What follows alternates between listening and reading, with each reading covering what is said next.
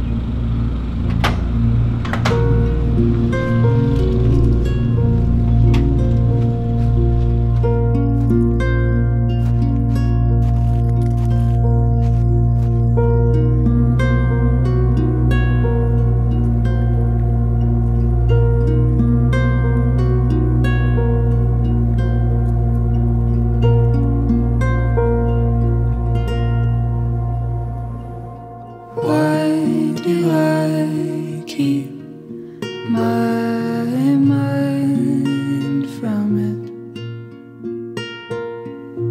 Why do I keep your